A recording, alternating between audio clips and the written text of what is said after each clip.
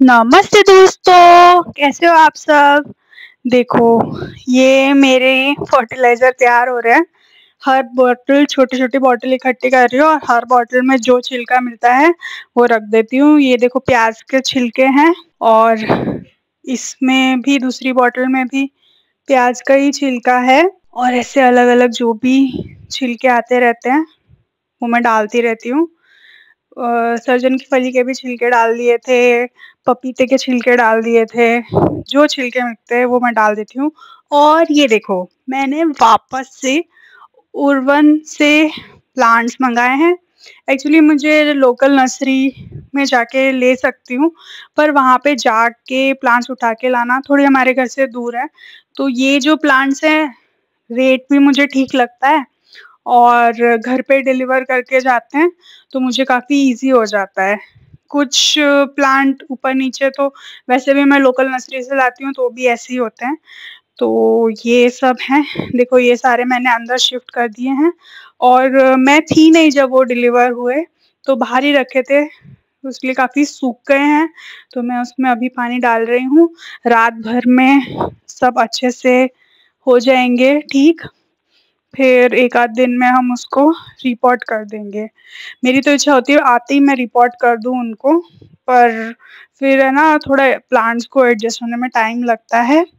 अब की बार मैंने वापस थोड़े विंटर फ्लावरिंग प्लांट्स मंगाए हैं, और ये दो प्लांट्स है ना, मैंने कुछ और प्लांट मंगाए थे, उसकी जगह आ गए हैं तो वो कल एक्सचेंज कर देंगे। उर्वन में एक्चुअली मुझे एक चीज़ अच्छी लगती है कि वो लोग व्हाट्सएप पे ही रिप्लाई कर देते हैं और कोई प्लांट में प्रॉब्लम है तो वो लोग रिप्लेस भी कर देते हैं या रिफंड कर देते हैं, सब हो जाता है। और काफ़ी अच्छा मुझे लगा उसका, जो ये है। और ये मतलब पैक होके नहीं आते लोकल नर्सरी है उनकी कहीं पे, वहाँ से आते हैं तो मुझे अच्छा लगा। और ये देखो, हमने स्प्रे बॉटल में ये, पता है क्या डाला है? ये, पहले तो ये देखो, मेरे चाइनीज़ वॉलेट में प्लांट्स कितने अच्छे आ रहे सॉरी फूल बहुत अच्छे आ रहे हैं। और ये स्प्रे बॉटल में मैंने डाला है। दाल जो धोते हैं ना, उसका पानी है। तो कुछ पौधे में मुझे मिस्टिंग करनी थी, कुछ सीडलिंग्स में डालना था तो मैंने वही ये कर दिया है। और ये देखो, मेरी एक सीडलिंग नहीं चल पाई तो मैं उसको निकाल के जो एक सीडलिंग बची थी, उसको लगा रही हूँ इस पॉट में ऐसा ही होता है, कुछ सीडलिंग अच्छी निकल जाती हैं, कुछ ऐसे ख़राब होती हैं, कुछ सीड जर्मिनेट होते हैं, कुछ नहीं होते। It is more like survival of the fittest जो अच्छा होगा, सबसे तंदुरुस्त, सेहतमंद होगा वो ही सर्वाइव करेगा। ये देखो इसकी कॉटिलिडन वाली जो लीव्स हैं, वो येलो होने लगी मतलब वो, सूख के गिर जाएँगी। और जो दूसरी ट्रू लीव्स हैं वो आएँगी। ये भी हमने लगाए थे मूली के। कुछ कुछ ठीक हो रहे हैं। ये सालविया का पौधा टेढ़ा मेढ़ा हो रहा था, उसको ठीक करा। और ये पोलका डॉट प्लांट है। इसको मैं सोच रही हूँ, थोड़ा धूप में रखती हूँ। बेचारे को अंदर कुछ कम मिल रही है ऑक्सीजन वगैरह। थोड़ा सा प्लांट्स के आसपास जगह रहना मुझे लगता है चाहिए। और ये देखो, ये सीडलिंग वगैरह हैं। इन सब में मैं डाल रही हूँ यही स्प्रे ये डाल का मुझे वो सीडलिंग वाला जो जो सीडलिंग वाला जो आ, मैंने कोकोपीट में लगाया है उसमें मुझे पानी स्प्रे करना ही था क्योंकि सूख गया है। तो फिर मैंने इसके लिए यही स्प्रे कर रही हूँ। देखो ये वाला एक सीड नहीं ग्रो हुआ है और दूसरा वाला सीड ये वाला टिकोरिस टिटोरिस कुछ ऐसा है, वो ग्रो हो गया है। कोई बात नहीं, मैं वापस से रख दूँगी। सब सीड ग्रो होंगे ऐसा ज़रूरी नहीं है।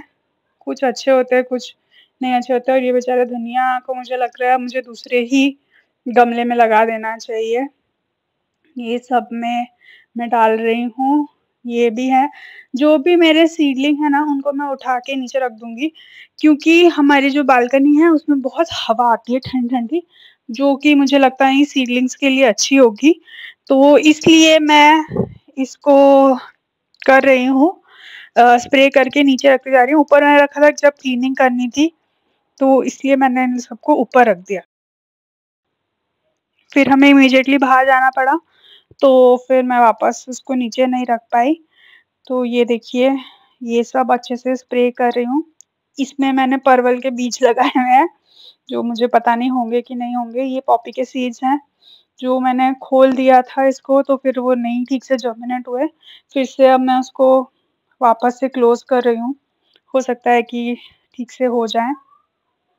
एक हमारे यहाँ पे ना कबूतर भी बहुत बदमाश है, चोच मार मार के खा जाते हैं। बहुत ही परेशानी होती है। और ये मैंने लगाए थे चकोतरे के बीज, जो कि कुछ जर्मिनेट नहीं हुए अभी तक। बट मैं होप है, देखती हूँ। कभी कभी कोई सीड है ना, बहुत लंबे टाइम के बाद भी जर्मिनेट होता है। ये देखिए, ये भी शायद फ्लॉक्स के सीड है। कुछ ऐसा है, इसको भी सबको नीचे रख देती हूँ।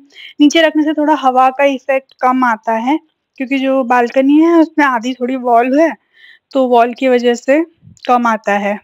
ये देखिए, यहाँ पे मैं स्प्रे कर रही हूँ।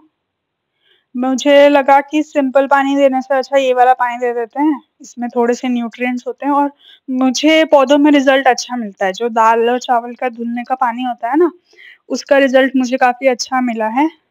इनफैक्ट कभी कभी तो मैं, एक टाइम था जब मैं खाद वाद नहीं अरेंज कर पा रही थी तो मैं सिर्फ़ ये वाला पानी डाल देती थी पौधों में। तो पौधे काफ़ी अच्छे हो गए थे मेरे उस टाइम पे। और ये देखो, ये कुछ टूटा मुझे कहीं से मिला है तो उसको मैं लगा देती हूँ। आई होप ये उग जाए। और इसमें थोड़ा बहुत सूखे हुए पत्तियाँ हटा रही हूँ। ये पत्तियाँ हटा के थोड़ा अच्छा से साफ़ सुथरा हो जाएगा। और ये देखो, डीलिया का कितना अच्छा फूल खिला है। मैं लेके आती हूँ जो पौधे ना तो मैं यही करती हूँ, जो पूरी तरह से खिले नहीं हो। खाली छोटी छोटी बर्ड्स हूँ, उसके अंदर ऐसे पौधे लेके आती हूँ तो वो खिले रहेंगे हमारे गार्डन में काफ़ी दिन तक अच्छा लगता है। और ऑल दो इन सब पौधों में मैंने डाल दिया था पानी, पर फिर भी मैं ये दाल का पानी डाल रही हूँ, और ये नर्सरी बैग में जो होते हैं, उनमें ड्रेनेज अच्छा होता है तो प्रॉब्लम नहीं होगी। बस आज का व्लॉग यहीं तक था, अपना ध्यान रखिएगा, मेरे चैनल को सब्सक्राइब करिएगा लाइक शेयर सब करिए।